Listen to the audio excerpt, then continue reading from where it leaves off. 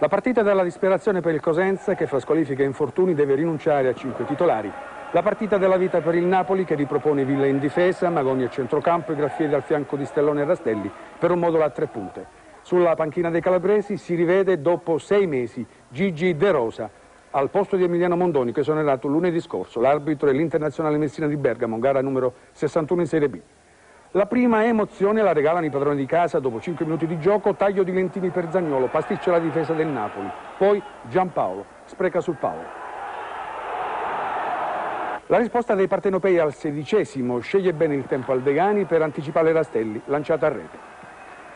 Spingono i Silani e al ventunesimo Giampaolo sblocca il risultato, ci mette del suo Mancini lasciandosi sfuggire il pallone, ma il vantaggio è ampiamente meritato. Esplode il San Vito la gioia di eh, Giampaolo, ecco lo vedete, gradisce Gigi De Rosa.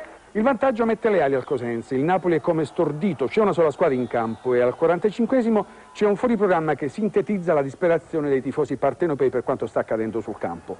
Un faccino rosso riesce a scavalcare la rete di recinzione e ad avvicinare Caruso per esortarlo probabilmente ad un maggiore impegno.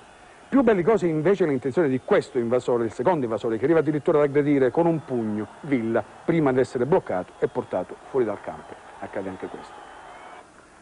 Le immagini montate da ci portano al terzo minuto della ripresa quando c'è questo tentativo di Stellone, Aldegani fa buona guardia.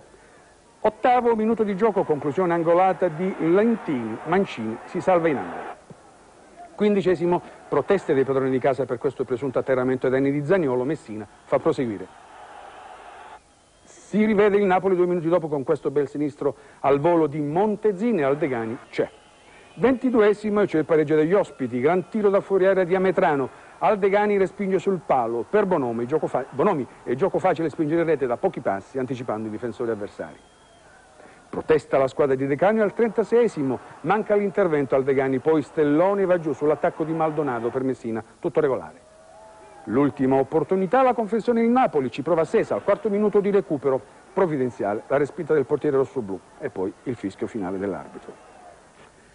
Il, il, pareggio accontenta il Cosenza che comunque, come dicevi tu, deve continuare ancora a soffrire e con tutta probabilità serve poco al Napoli, attardato di sei lunghezze dalla regina, tre turni dalla conclusione. È stata una bella gara, un tempo per parte, il Cosenza ci ha messo il cuore, soprattutto nel primo tempo, ma non è bastato. Il Napoli eh, nella ripresa le ha tentate tutte, ma probabilmente, era, anzi certamente era ormai troppo tardi, la linea torna a Maffei.